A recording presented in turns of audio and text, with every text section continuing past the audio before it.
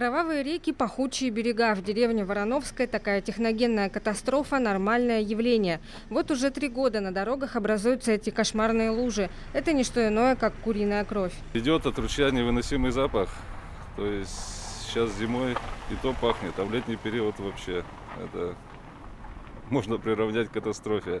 Не открыть окна дома, ни ничего вообще. Вечерами, днями практически невозможно дышать. Всем известна вельская курочка – популярный продукт в магазинах области. Производственные отходы вельской птицефабрики попадают в местный ручей, отравляя жизнь всей деревни. Вот тут у речки у меня у бабушки дети, что все равно хотелось бы купаться в чистой воде просто. Очень, очень страшно, да, потому что дети бывают, ну, болеют после того, после купания. Какой-то год было такое, что у меня и сама сына к дерматологу водила. Прокуратура Вельского района в мае 2014 года проведена проверка исполнения природоохранного законодательства обществом с ограниченной ответственностью Вельская птицефабрика.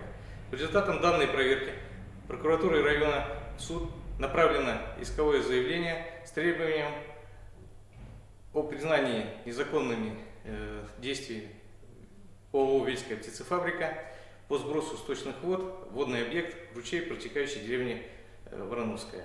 Руководители птицефабрики отказались комментировать ситуацию на камеру. По телефону связаться тоже не удалось.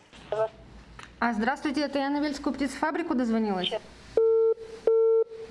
Здравствуйте, это с телевидения звонят телекомпания РНТВ «Архангельск». Здравствуйте. Меня зовут Юлия Майданова, я корреспондент. Алло. Здравствуйте. Дело в том, что у нас сегодня выйдет сюжет про э, нечистоты, вот куриную кровь, которая поступает в канализацию вельскую.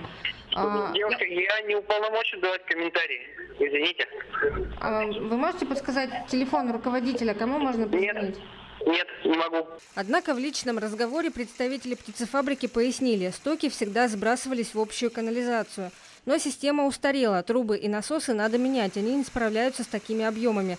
А вот кто должен это делать, сама птицефабрика или местный водоканал? Споры не утихают много лет. Оба предприятия отказываются от права собственности на устаревшую систему.